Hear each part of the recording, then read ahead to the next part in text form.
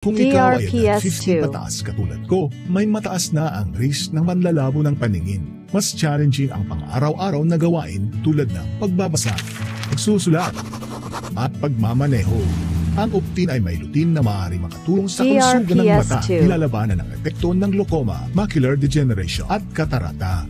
Kitang-kita ang kalusugan. Mabibili ang Optin sa mga pangunahing butika nationwide. Mahalagang paalaala, ang Optin ay hindi gamot at hindi dapat gamitin panggamot sa anumang uri ng sakit.